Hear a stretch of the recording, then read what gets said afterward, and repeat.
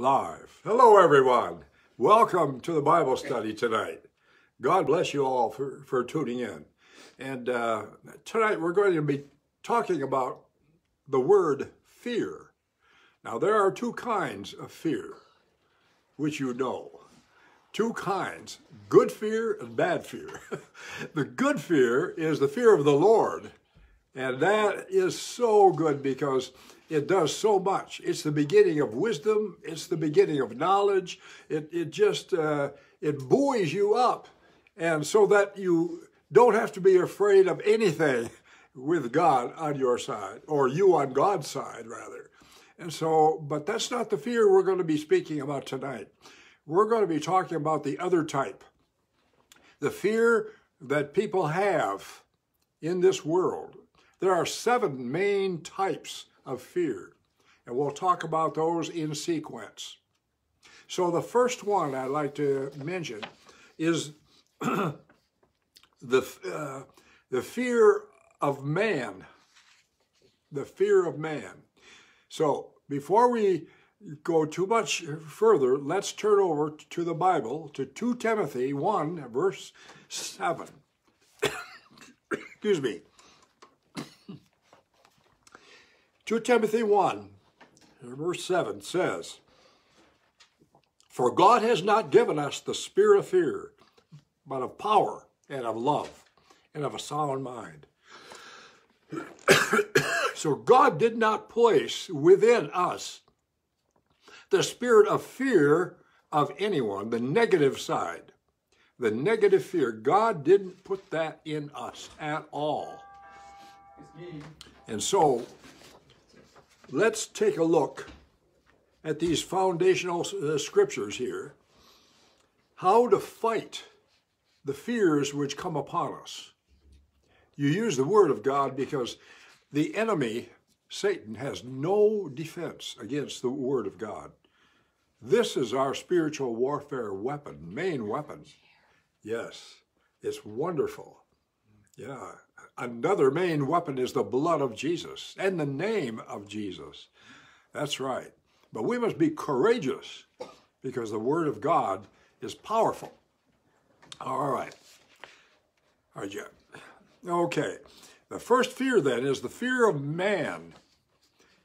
Over in Proverbs 29, verse 25, it says, The fear of man brings a snare but whoso puts his trust in the Lord shall be safe. The fear of man brings a snare, but you put your trust in the Lord and you'll be safe.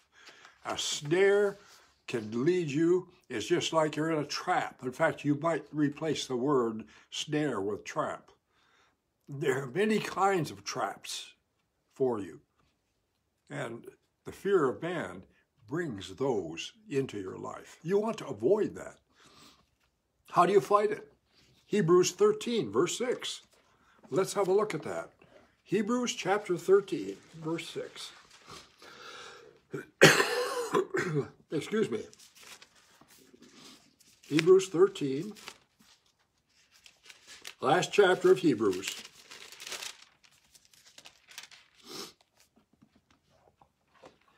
It says, in fact, let, us take verse uh, 5 also. Let your manner of life be without covetousness, and be content with such things as you have. For he hath said, I will never leave thee nor forsake thee. So that, verse 6, so that we may boldly say, The Lord is my helper, and I will not fear what man shall do unto me. That's the fear of man. So if the Lord is your helper, we should never fear what man can do to us. And so that's a big snare. I mean, the fear of man. And, and that manifests not only in an uncivilized society, but a civilized society, because you fear how you appear to others. Will I be appear good to them, hireable, or will I appear to be a fool? How do I look in their eyes? What if I say this? What if I do that? That's fear of man. And so that always brings a snare. Let's look at the next type of fear the fear of war. It's a powerful fear. Fear of war. We fight this with Psalm 27, verses 3 and 5. We'll read 3, 4, and 5. Psalm 27.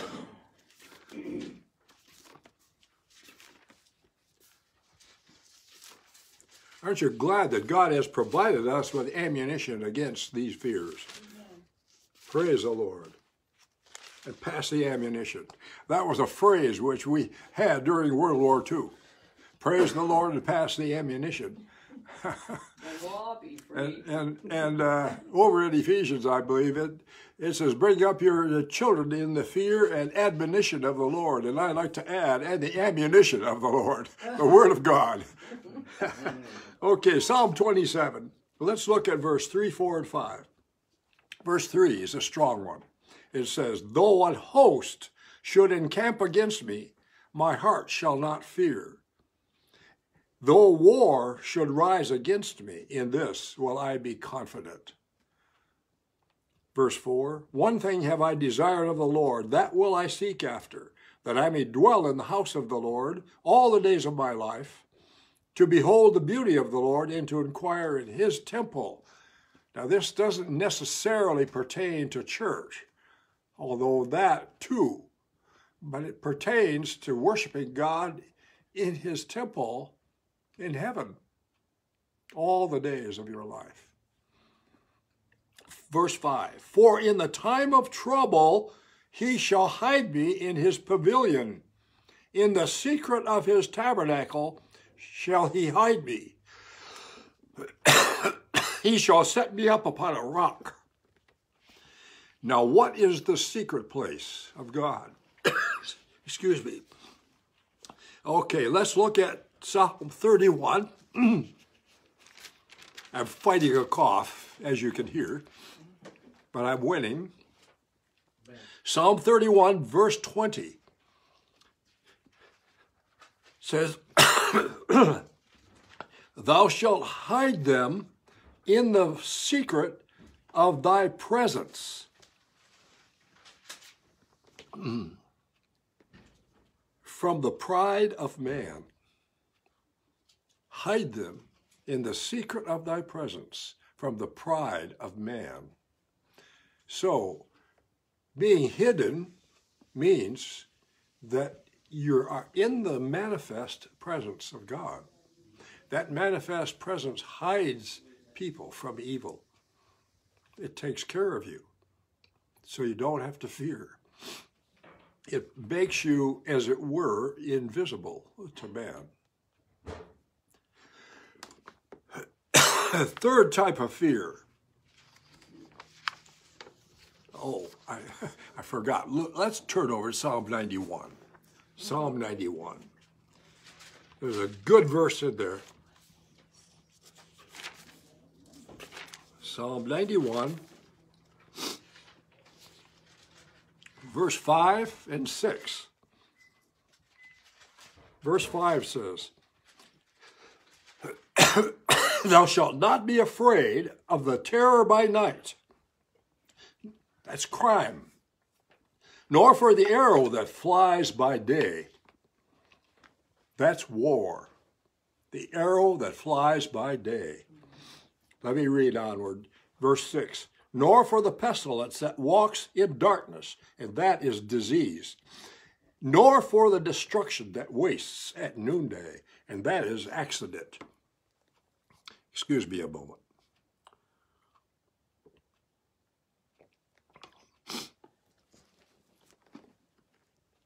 So you don't need to fear the arrow that flies by day. That pertains to war. And not just arrows, bullets, bombs, evil, hand grenades. Don't have to fear those. There's a story, a true story, during First World War, in the British Army fighting against the Germans, there was a brigadier who forced all of his soldiers under him to read Psalm 91 every day. Read it every day. And at the end of the fighting, and they were in some severe battles, not a single soldier was killed. Some were wounded, but they were not. No one died. They claim Psalm 91. Hallelujah. It's a true story. Let's go on. The third fear is fear of disease. Yeah, that's right. Fear of COVID. I, I might just place that in there foremost because that's what everybody is speaking about now. That's what you get on all the TV channels. COVID, COVID, COVID. I'm so tired of it. I'd rather watch anything except explanations of, of COVID and the varieties of it. Yeah, right. There's the first variety, uh, Delta, and then came Lambda, and then came Omicron, and I wonder what they do when they run out of Greek letters. We're still protected, no matter what they have. Even at the end, even if they find an Omega version, still, we're under the secret place of the Most High, which is the presence of God. All right, so disease, we can look at 1 Peter 2, verse 24. Now, a lot of you know that by heart. 1 Peter 2, verse 24. I want to read it.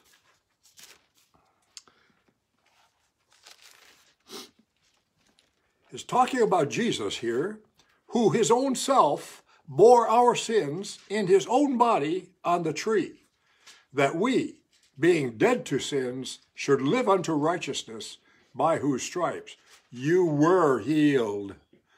Did you catch that? The tense is past tense. You were healed. Not you're going to be.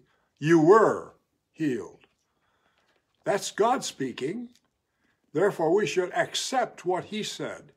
You know, you may feel like you still have a, have a problem. You might still have the pain.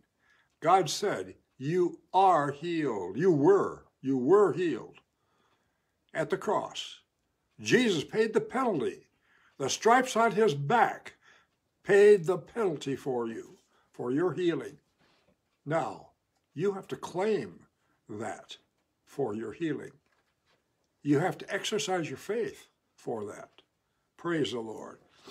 All right, that's not the only scripture. Psalm 91. I think I just read that, that area. Let's go back there a moment. Psalm 91. Once again, let's home in on just a moment here. Let's home in on verse 6. It's, it's uh, that we should not fear, nor for the pestilence that walks in darkness. Don't fear the pestilence that walks in darkness. Don't invite it into your home by saying, well, the flu is coming around again and we'll probably catch it because a lot of folks come into our house and they bring the flu germs. Don't ever say that. You are inviting the pestilence into your house. You say, My house is protected by the presence of God. It's here, and no flu will hit me in the name of Jesus. You exercise that, the power that you have. Remember, folks, we are a new creation in Christ. We're the second creation, the spiritual creation. Jesus is the first member of it, the first one raised from the dead into the new creation. But we follow him as equal members in the new creation. We are created with a new spirit, like God. You might call us little gods, small g. Jesus is the great God. We're little, but we are, in fact, the Psalms calls us gods, little g. We'll never be Jesus, but we're anointed with his anointing, filled with his spirit, even as he is. Hallelujah. So we can do what God asks us to do in His Word. We can do all things through Christ who strengthens us. Okay, let's go on. Look at Philippians 2, verse 10. Philippians 2, verse 10 in the New Testament.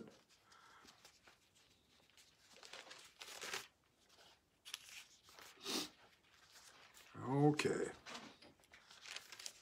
This is a weapon that you can use against disease. That at the name of Jesus, every knee should bow of things in heaven and things in earth and things under the earth, and that every tongue should confess that Jesus Christ is Lord to the glory of God the Father. So, every knee shall bow of things on the earth and so things on the earth have names like COVID 19, like, like Omicron, like flu. Those are names, specific kinds of diseases. Every one has a name lower than the name of Jesus and must bow its knee to the name of Jesus. And when we speak the name of Jesus with faith, they bow their knee. That's right. Praise the Lord. One more scripture there Matthew chapter 10, verse 8. Matthew 10, verse 8.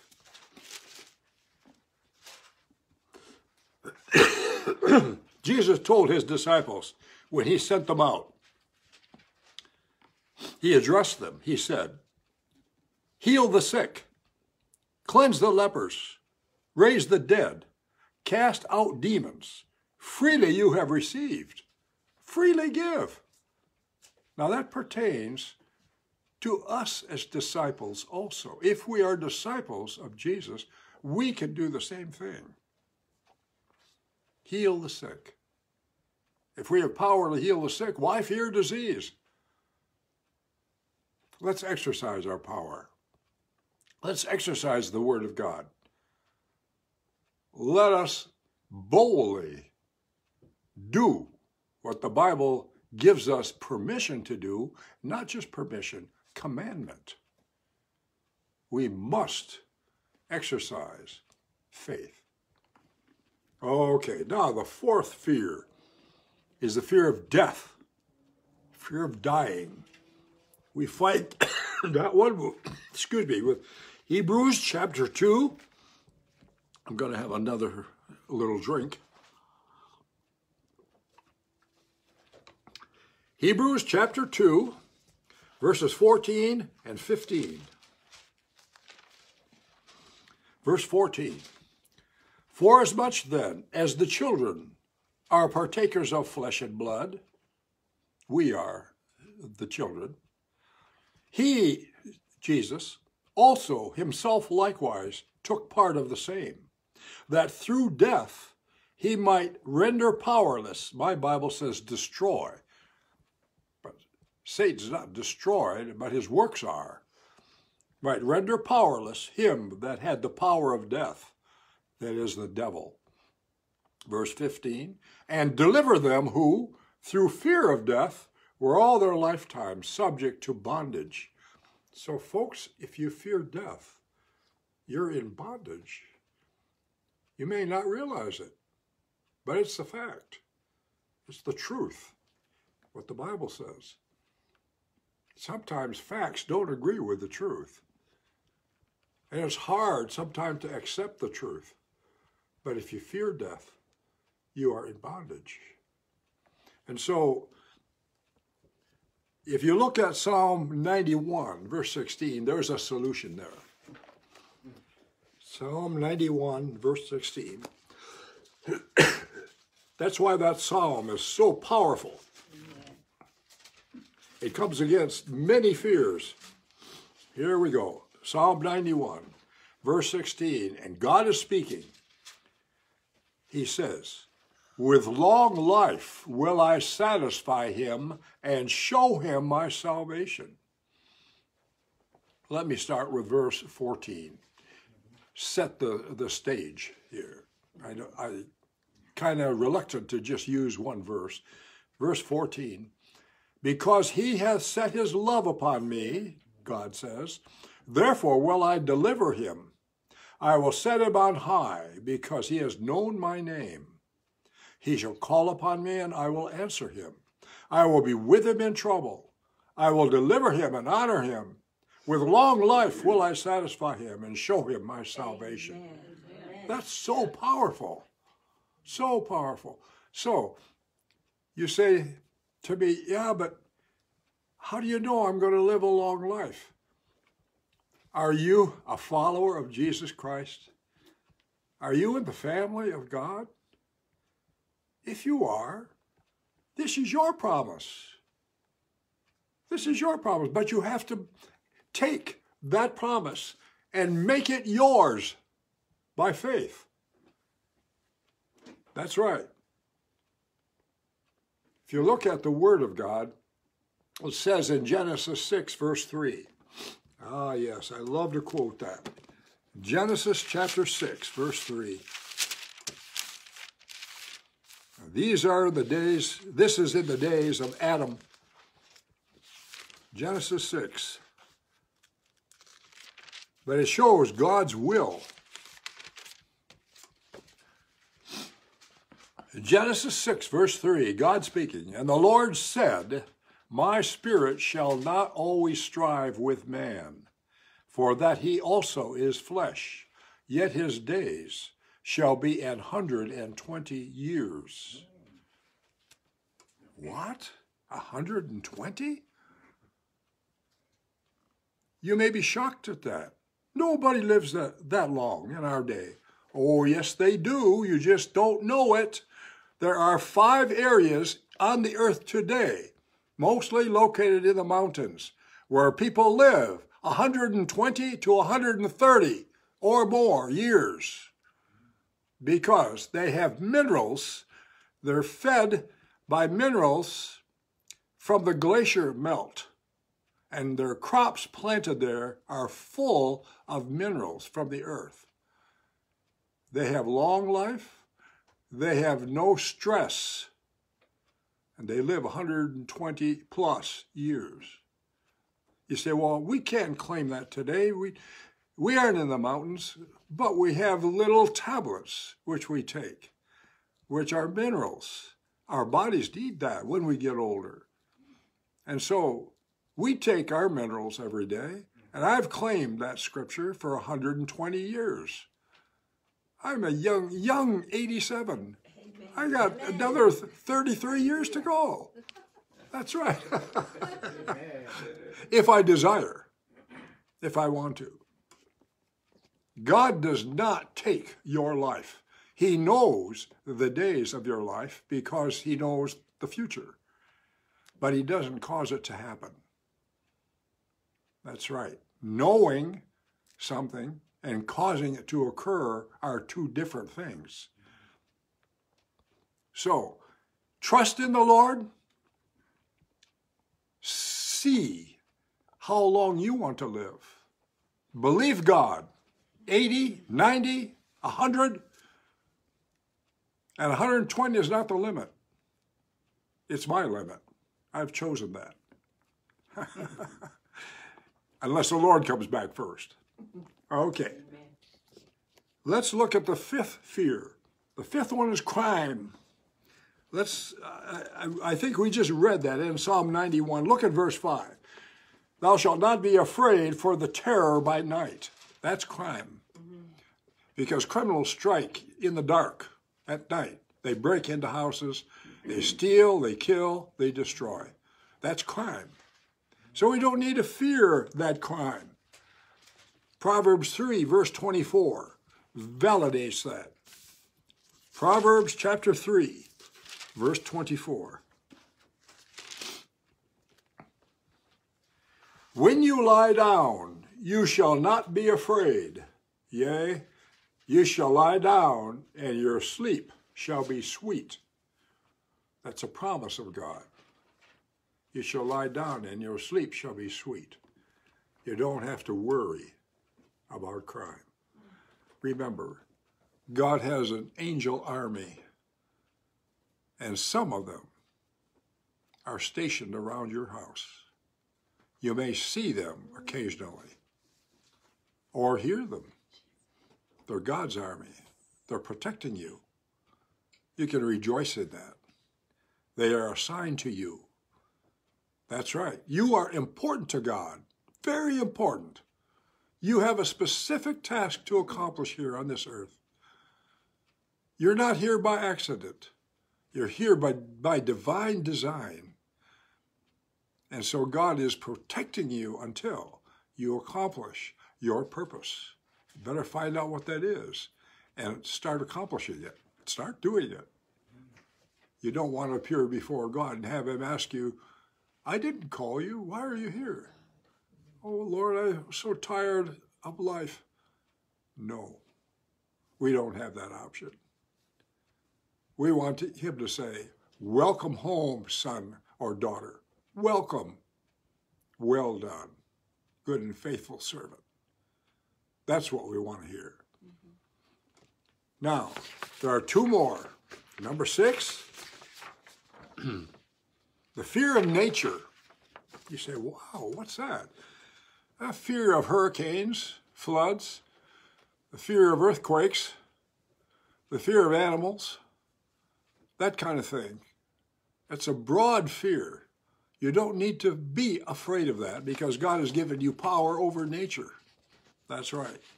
Let's look at Luke 8. Luke 8, verses 4 and 5, uh, 24 and 25. Luke 8, verses 24 and 25. Now, this is Jesus acting as a son of God, a son like you can be a son of God or daughter of God. Doesn't pertain to sex, it pertains to God's child. Now, this is what Jesus did by the power of the Holy Spirit, not by his power as the Son of God. He gave that up when he came to earth, but by the power of the Holy Spirit. Luke 8, verse 24 and 25. uh, let's start with verse uh, 22. Now it came to pass on a certain day that he went into a boat with his disciples, and he said unto them, Let us go over unto the other side of the lake. Now that was his intention. And they launched forth. Verse 23 But as they sailed, he fell asleep, and there came down a storm of wind on the lake, and they that were filled with water and were in jeopardy, meaning sinking. And they came to him and awoke him and said, Master, Master, we perish. How's that for a non faith statement? We're going to die, Jesus. Don't you care? Then he spoke. uh, he arose and rebuked the wind and the raging of the water, and they ceased, and there was a calm. Then, verse 25 is the one that gets me every time. And he said unto them, Where is your faith? You might put an accent on the your. Where is your faith? In other words, they could have done that. They could have rebuked the wind and the waves, and it would have stopped for them as well. They were fearful. Fear is the opposite of faith, but they could have done it. You don't have to fear animals. I've got a dog story that's many years old, and I won't tell the whole thing, just the end of it. The Lord rebuked me because I feared these two dogs. They came after me, big German Shepherd dogs, baring their teeth got in the car and left. He rebuked me and said, I thought I gave you power over animals. I said, You did. He said, Well, in other words, go back. So I stopped the car, turned it around, went back, opened the door. There they came again. And I yelled at him and pointed at him, Get away from me in the name of Jesus. And the one dog ran as fast as he could away from me. The other dog got down on his haunches and licked his paws. And I walked right past him to the door of the house that I was sent to. So you've got to not fear those animals, even though they could tear you apart. Of course, you use wisdom. Never foolish. Like the man a few days ago in South Africa's game park, he got out of the car and went too far away, and an elephant stomped on him and killed him. You got to be wise. That's right. There's one more fear the fear of the devil. Many people fear him as if he's equal with God. I hate that, even a comparison of Satan to Jesus. There's no comparison. Jesus created the devil when he was an angel, a good angel, a worship angel, and he fell because of his pride. There's no comparison. The one is not in the same category as the other. Jesus is, has all power. The devil has some power. Jesus gave you his power by faith.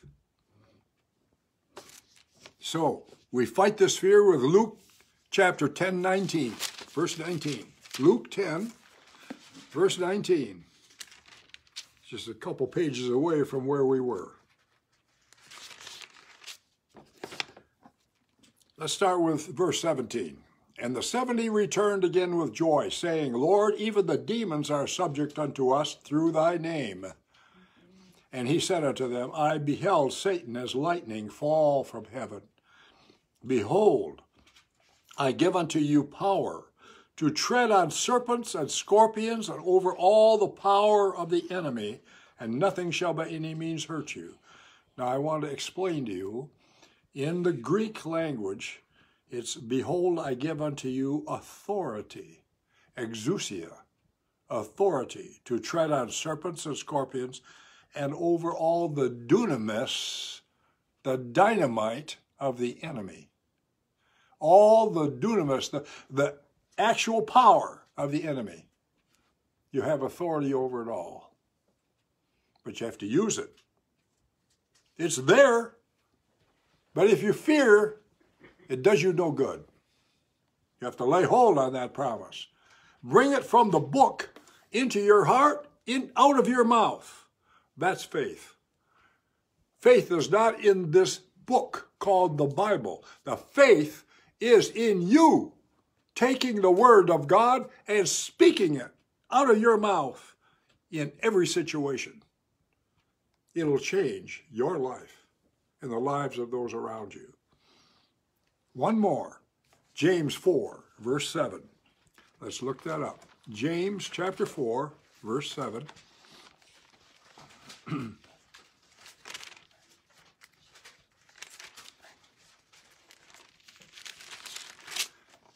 Here we are. Submit yourselves, therefore, to God. Resist the devil, and he will flee from you. It doesn't say he'll tear you apart. He'll set up things against you that'll destroy you. Doesn't say that. It says, resist the devil, and he'll run away from you. He will flee from you. You don't have to fear the devil. He's a created angel. He's the works of God's hands. And over in Psalm 8, it says, Man has been given authority over the works of God's hands. That should cement it in your mind and heart. And over in 1 Corinthians chapter 6, it says that we're going to judge angels. God never has a lesser creature judge a greater, but the greater always judges the lesser. That shows you our position regarding angels. God created man higher than the angels. God created us for a house for himself, to inhabit, to be like him. How much are you like him? Let the Holy Spirit make you like him. Submit to him, and you will become like him. So don't fear those seven fears. They're under your feet. Thank you. Hallelujah. We can trust our God. He's righteous. He's joyful. It says in Psalm 16, in the presence of God, there is joy forevermore. If you're in his presence, you should manifest that joy. Right? Let's pray. Father, thank you for your word. Your word is so good, so powerful. Help us to memorize the verses and to use them to store them up in our heart and in our mind. And when necessary, to speak them out of our mouth with faith and to create the situation that we desire, whether it's safety from one thing or another, that we know there is no need to fear. There is need to trust in you. Because we can do all things through Christ who strengthens us. Right? Amen. Okay. God bless you all. Good word. Hallelujah.